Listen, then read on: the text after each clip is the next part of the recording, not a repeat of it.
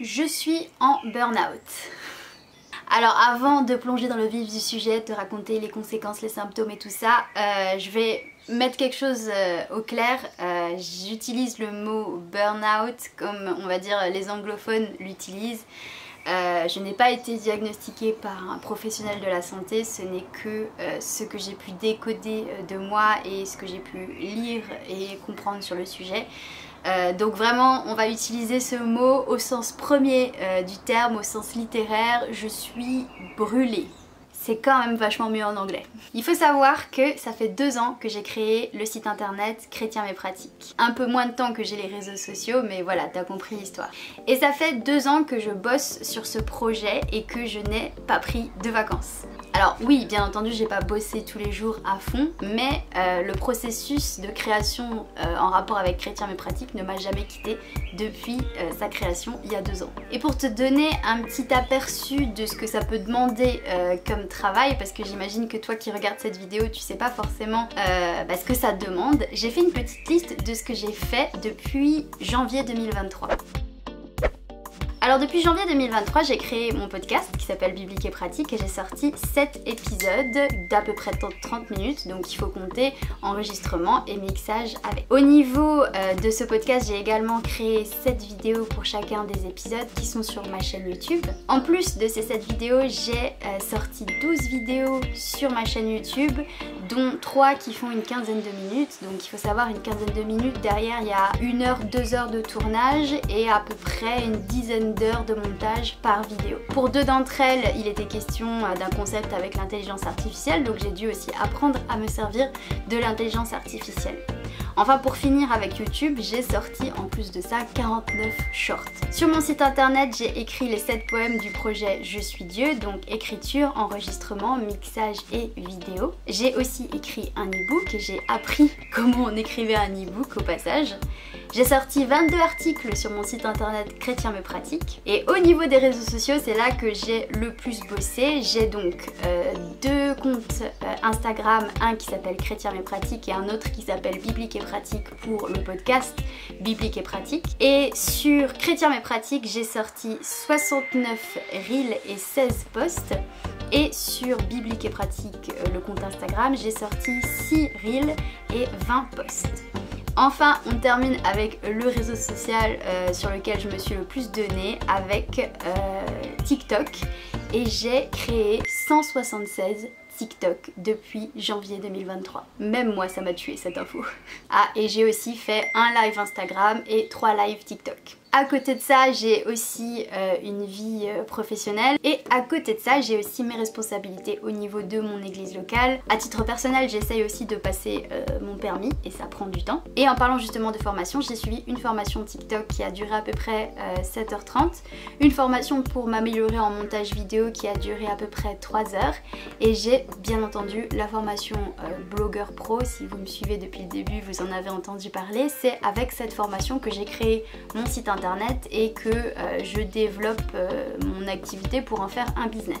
Et puis enfin, bien entendu, il y a euh, la vie de tous les jours, les responsabilités familiales, le fait de voir quand même de temps en temps les amis, bref, vous savez. Tout ça, ça fait beaucoup. Ça fait vraiment beaucoup. Et ce qui s'est passé, c'est que ces dernières semaines, ça a été vraiment dur. Je pense que je suis arrivée à un point où où il y a eu une petite rupture. je pense qu'on peut dire que je suis arrivée à un point de rupture dans le sens que je suis aujourd'hui incapable de me réveiller le matin de bonne humeur. Alors je sais que ça peut être un cliché et que bah, c'est juste que t'es pas du matin et tout ça, mais moi dans mon cas, j'ai vu vraiment les choses se... J'ai jamais été du matin, mais j'ai vu vraiment les choses se dégrader parce que quand je dors, je vais bien. Dans le sens, j'ai pas de problème vu que je dors. Mais à la minute où je sors du sommeil, eh bien l'inquiétude vient et euh, je me rappelle dans l'ordre euh, de toutes les choses que je n'ai pas encore fait ou que j'ai mal fait ou que je suis en retard euh, pour faire. Et c'est un cercle vicieux de culpabilité sans fin. Cette culpabilité sans fin a eu comme conséquence le fait que je, faisais, j'espère que c'est fini, des genres de, crises de larmes pour des détails. Il suffisait que, je sais pas moi, la connexion internet elle soit pas assez bonne et je pouvais mais vraiment partir en gros sans également beaucoup de, colère et d'irritabilité. Et puis ben, dans l'ensemble vraiment un mood un mood pas fou quoi. Et j'en venais la nuit à me réveiller juste pour m'inquiéter comme si ça allait changer grand chose. Et ça fait quelques semaines que je pense à, en tout cas, à ralentir, mais ce qui m'empêche, euh, ce qui m'empêchait de le faire, euh, c'était deux choses. Déjà, euh, d'un point de vue financier, ça m'arrangerait vraiment beaucoup que Chrétien et Pratique fonctionne. D'ailleurs, je fais une petite parenthèse. À chaque fois que je dis ça, j'ai souvent des gens qui me demandent mais qu'est-ce que tu fais concrètement pour que ça marche? Et alors je vais pas répondre, en tout cas dans cette vidéo, je vais pas répondre à cette question. pas parce que je veux pas y répondre mais parce que euh, souvent les gens veulent me donner des conseils ce qui en soi est adorable mais le problème c'est qu'actuellement euh, on m'en a donné en fait ça fait deux ans qu'on me donne des conseils. Et euh, ben déjà aujourd'hui il y en a beaucoup que j'ai enfin la plupart je les ai appliqués ça n'a pas changé grand chose et surtout aujourd'hui c'est plus une source de culpabilité que d'efficacité. Donc voilà j'en appelle à votre bon vouloir. Et le deuxième point qui m'empêchait euh, de, m'arrêter, enfin en tout cas de ralentir, c'est euh, que je commence à avoir des chouettes résultats. On commence quoi, et ça, ça fait très plaisir. Mais du coup, je me dis, si tu t'arrêtes maintenant, eh ben les choses, euh, enfin le peu de résultats que tu as aura été pour rien et redémarrer sera encore plus dur. Mais je dois me rendre à l'évidence, même si c'est très dur, que je ne suis pas un super-héros ni une super héroïne d'ailleurs. Euh, et que en essayant d'être ce super héros euh, que je ne suis pas, je ne laisse pas la possibilité à Dieu de l'être, le super héros dont j'ai besoin. Je me suis aussi rendu compte qu'il y a aussi pas mal de, colère que j'ai parce que dans mon, dans mon orgueil, parce que disons ce qui est, hein, c'est orgueilleux comme, euh, comme logique, dans mon orgueil, j'ai estimé que j'ai suffisamment travaillé, que j'ai fourni un travail d'assez bonne qualité pour pouvoir euh, avoir suffisamment de succès. C'est intéressant et en même temps c'est triste parce que hum, en 2023, la seule résolution que j'ai prise c'était de mener 2023, de faire une année menée par la grâce. Et quand j'ai pris cette décision, ah oui, alors une année menée par la grâce et une année sans stress. Et je n'avais aucune idée, mais vraiment aucune idée euh, de à quel point le sujet était vaste et à quel point euh, il y avait plein de choses que, je n'avais pas compris et, à quel point ça touchait plein de domaines en fait. Euh, déjà parce que le stress, moi je pensais très naïvement hein, le stress c'était juste, euh, bon voilà, tu prends une grande respiration, tu laisses ça au Seigneur et tu vas de l'avant. Mais le stress, euh, le stress s'accroche. le stress s'accroche et infuse chaque petit détail de ma vie en tout cas. Et c'est une remise en question et un abandon perpétuel.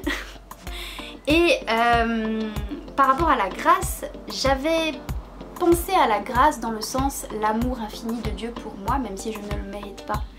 Euh, qui est, je, te l'accorde, un assez gros morceau. Mais ce que je, n'avais pas compris et qui a pris une autre, euh, un autre sens aussi, c'est considérer ce que je vis comme une grâce de Dieu. Quand je produis des choses, quand je crée des choses et que ça n'a pas autant de succès, que ce n'est pas autant vu que ce que j'aimerais, je le vis comme un, comme un échec en fait.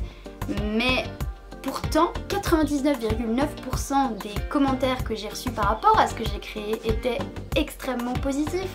Et j'ai eu la chance, la bénédiction, euh, la, considération de la part du Seigneur de pouvoir euh, apporter son amour, sa bonté, ce qu'il est à d'autres.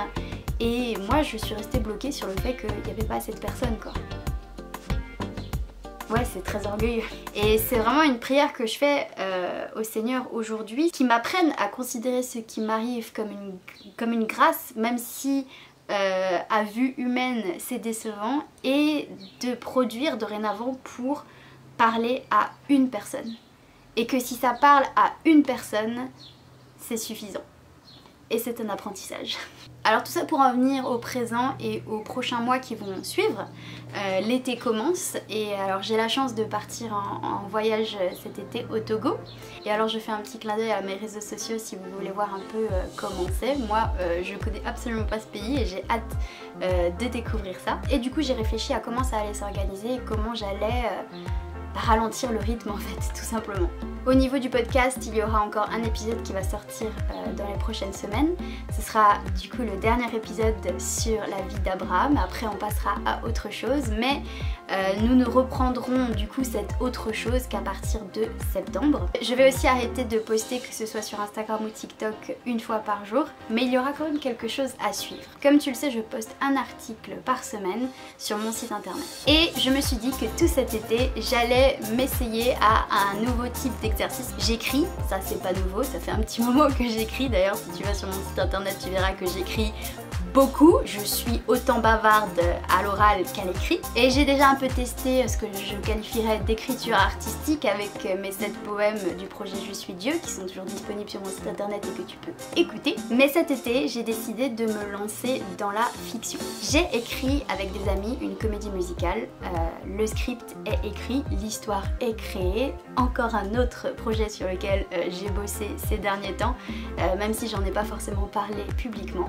Mais cette histoire est pour l'instant seulement en format script et ne sera euh, disponible au public que quand on aura organisé des représentations. Aussi, je me suis dit que j'allais reprendre cette histoire en mode nouvelle. Alors si tu sais pas ce que c'est qu'une nouvelle, très rapidement, c'est un format d'histoire court J'ai l'impression que c'est un peu le format par lequel tous, les, tous les auteurs, toutes les autrices passent euh, quand, elle, quand commence à écrire. Et l'idée c'est de te sortir un euh, chapitre, je mets entre guillemets parce que ce sera pas forcément aussi long qu'un chapitre euh, traditionnel, mais l'idée c'est de te sortir un chapitre par semaine. Ce chapitre tu pourras bien entendu le lire et le découvrir sur mon site internet, mais si tu veux ne pas t'embêter à vérifier régulièrement si le chapitre de la semaine est sorti, je te conseille de t'inscrire à ma newsletter parce que je t'enverrai une fois par semaine du coup le nouveau chapitre et que tu auras aussi accès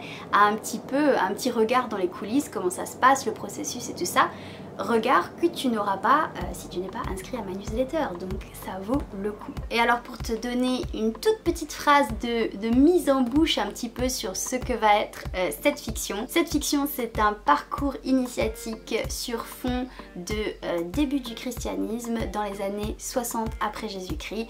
Donc il y a de l'historique mais il y a également de l'humour, il y a plein de personnages intéressants. Bref, je suis très fière de cette histoire et je pense que tu vas aimer. Voilà, j'arrive à la fin de cette vidéo, j'ai parlé beaucoup plus que ce que je voulais, euh, comme d'habitude.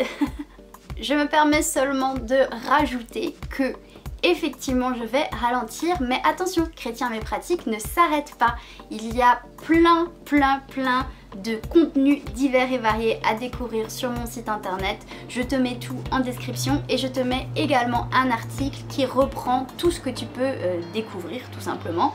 Et euh, entre toi et moi j'ai regardé les stats il y a 100% de chances que tu n'aies pas tout découvert. Donc profite de cet été pour aller checker ce que tu ne connais pas encore. N'hésite pas à me dire que ce soit sous cette vidéo ou sur mes réseaux qu'est-ce que tu préfères dans ce que j'ai produit. Abonne-toi à cette chaîne YouTube bien entendu, est-ce que j'ai besoin de le préciser? Et on se donne rendez-vous à partir de mercredi prochain sur mon site internet pour découvrir cette nouvelle fiction. Allez bisous